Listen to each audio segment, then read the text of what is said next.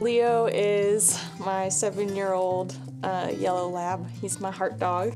He's been my vet school buddy and my hiking buddy and my swimming buddy. It was when he was pretty young, he was about two years old. Um, he started having just kind of this lameness and he came up like he was like three-legged lame. As we got other dogs and he was kind of more and more active, the lameness was definitely something that limited his ability. Even just going out and playing ball, if we were out there too long, he would be lame and sore for a couple of days. Leo had a, a condition that was affecting his hock. Um, it's the equivalent joint of our ankle. It is a condition called osteochondritis dissecans, OCD. This is where the cartilage in the joint doesn't form properly. So this is an x-ray of Leo's affected ankle. So this joint is moderate to severely arthritic.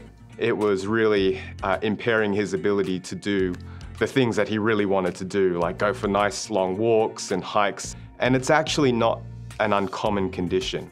When I started um, vet school here at UF and I saw on the website that they started offering total ankle replacement. When I started the orthopedic surgery rotation, I approached Dr. Kim and kind of told him about Leo and he said, well bring him on in and we'll take a look at him.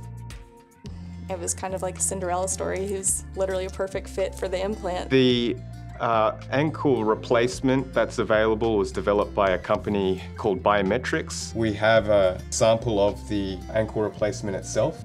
Prior to this, there were really no good treatment options for bad arthritis of the ankle. Leo was the first dog that received the ankle replacement in Florida. He is only one of a, a handful of dogs that have undergone the procedure in the world. He's doing remarkably well. He's, I feel like, regained a lot of his kind of vitality. He's ready to run and go play ball. I'm definitely 100% glad I did it.